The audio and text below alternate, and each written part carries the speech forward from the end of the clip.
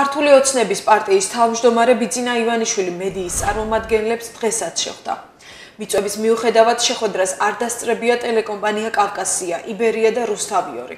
ივანიშვილის ჟურნალისტების შეკითხვებს საათზე მეტ ხანს პასუხობდა. მან დღეს გორში მოკრული გოგონას ოჯახსაც მიუსამძიმრა.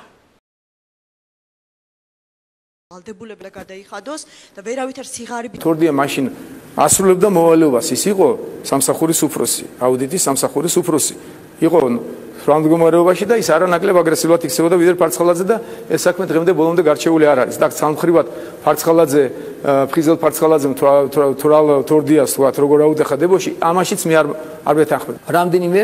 ძალიან გამოცდილი პროკურორი საზღვარგარეთიდან მოვიწვიეთ.